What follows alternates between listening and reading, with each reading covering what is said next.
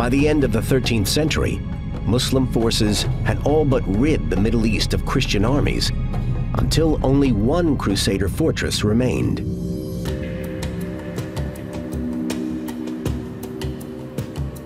Towering over the Syrian plains, from the top of a 2,000-foot ridge, Krak des Chevaliers was the last bastion for the most powerful Christian force in the Crusader kingdom, the Knights Hospitaller. The Hospitallers were soldiers, but they were also monks. And so they built a Gothic chapel and cloister.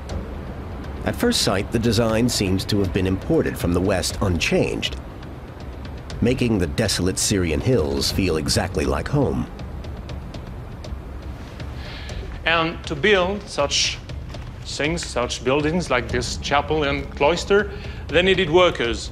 So they used at first Western workers who traveled with them, and these workers reproduced the uh, architecture they knew in Europe at that time, which was the Gothic architecture.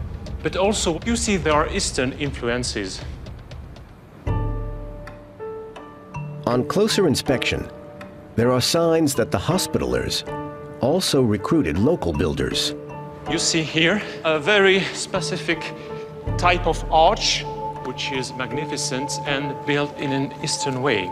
Uh, because instead of going down straight like in Europe, the arch curves round, which is an, a Muslim feature known since centuries in the Near East and also in the Mediterranean uh, area.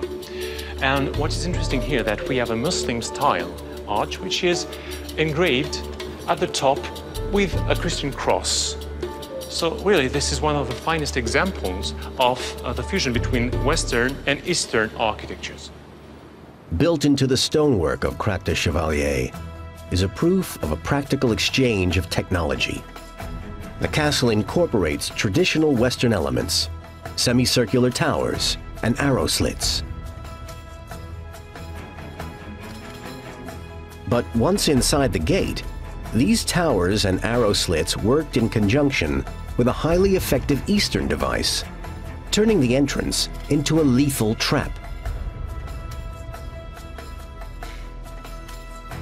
Instead of having a straight entrance that could easily be charged by an invading army, this hairpin bend penned the enemy into a narrow killing zone.